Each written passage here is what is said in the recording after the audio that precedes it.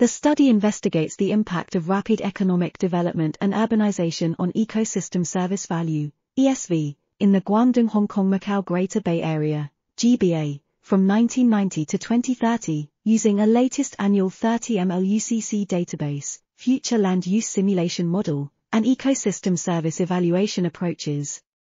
The results show that forest and cropland are dominant land use types, built-up land expansion is the clearest process, and reduction of cropland and forest contributes to decreasing total ESV.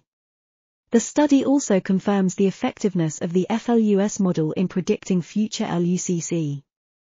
If regional forest and water body reductions are not constrained, the ESV is predicted to decrease to 4,962.23 by 100 million yuan in the 2030s under the current development mode. The study provides a reference for promoting rational land resource use and ecological construction in the GBA, and can help with ecological planning and environmental protection.